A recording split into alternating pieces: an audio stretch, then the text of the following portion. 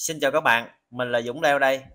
Trong video hôm nay mình sẽ hướng dẫn các bạn đào cái đồng Ravencon trên cái hệ điều hành Windows ở chế độ ờ, solo nha các bạn. Thì ờ, trước tiên để đào được đồng Ravencon á thì các bạn sẽ chuẩn bị cho mình một cái ví nha. Thì ở đây mình sẽ sử dụng cái ví của sàn Binance. Thì nếu như bạn nào chưa có tài khoản của sàn Binance á thì các bạn có thể đăng ký nha.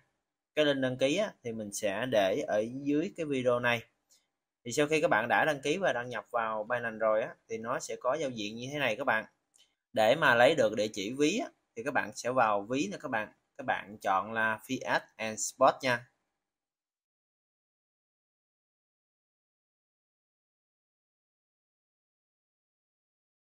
Tại đây các bạn sẽ chọn là nạp cái chỗ đồng con nè các bạn. Mình sẽ chọn là Ravencoin nha. RVN các bạn.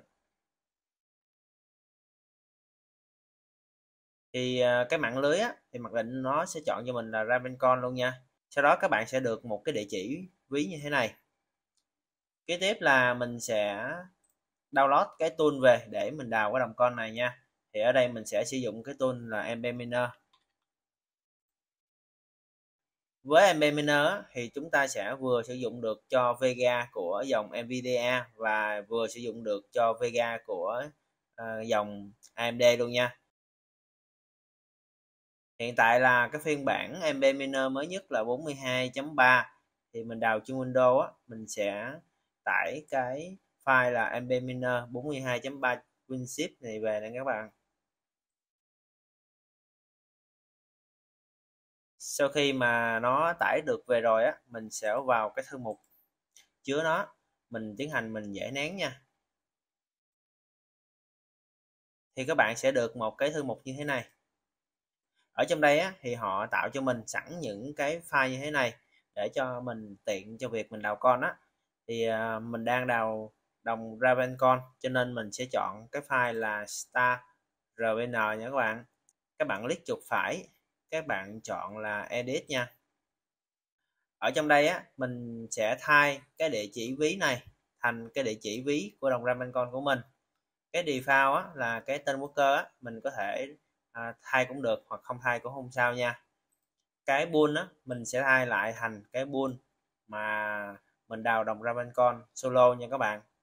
Thì ở đây mình sẽ à, sử dụng cái bull của Chuminer cho nên mình sẽ vào Chuminer để mình lấy cái địa chỉ bull nha.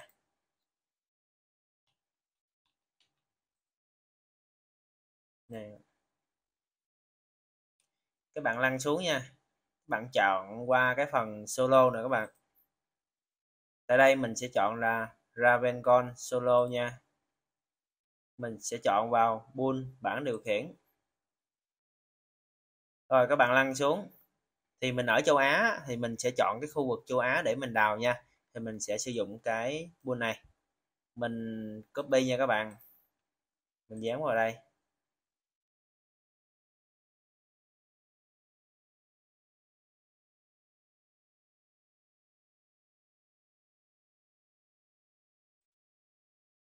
Các bạn lưu ý là mình dán ở sau hai dấu sạc sạc này nha.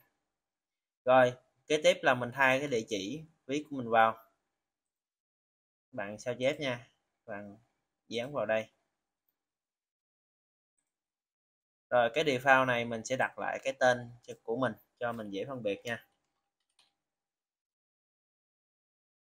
Rồi, sau khi các bạn đã thay cái bull nè, cái địa chỉ ví của mình và cái tên worker rồi á, thì các bạn sẽ save nó lại. Rồi, các bạn sẽ tắt nó đi nha. Mình à, vào thư mục này. Thì trước khi các bạn đào con á các bạn nên tắt cái trình duyệt virus đi nha các bạn. Sau đó là các bạn tải thêm cái phần mềm á là MSI Afterburner nha. Các bạn tải cái phần mềm này về các bạn cài đặt vô cái máy tính của mình nếu như mà các bạn chưa cài nha. Thì cái phần mềm này nó giúp cho mình hiệu chỉnh cái thông số OC À, giúp cho cái Vega của mình nó hoạt động à, phù hợp cho việc đào con nha các bạn. Rồi mình sẽ chạy cái file này.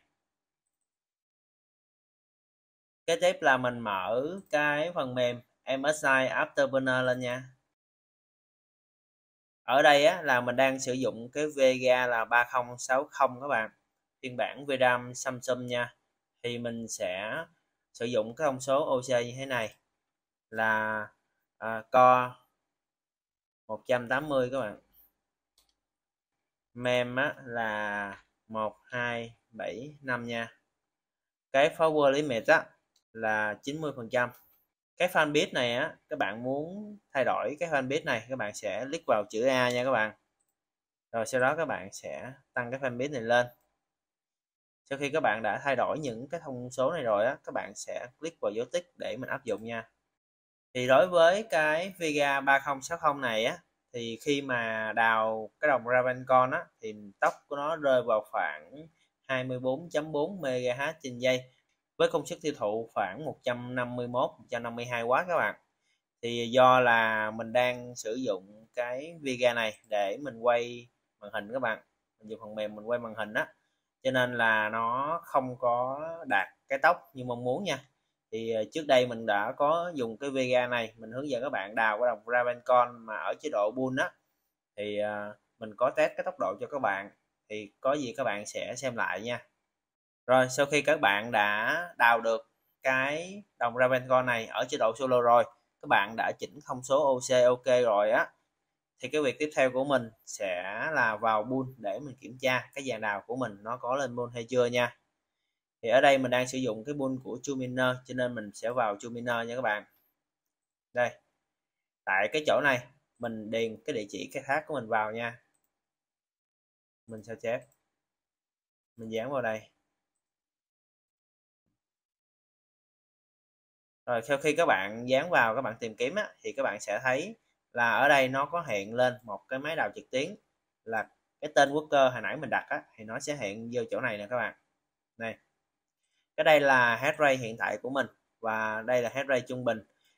Thì ở chế độ solo này á khi các bạn đào á thì nếu như các bạn xử lý được một cái khối hoàn chỉnh á thì các bạn sẽ được là 2462.5 ravencoin nha thì cái số Ravencon này nó đã trừ cho 1.5% cái phí bull.